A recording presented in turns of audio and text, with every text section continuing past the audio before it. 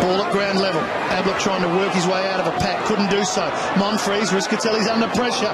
Real pressure. Oh, that is dropping. He just, dropped it on the ground. They got away with one there, the Gold Coast. Hartlett's a big long kick, though. He's one of the best finishers in the game. Oh. And that's why he's got a super boot.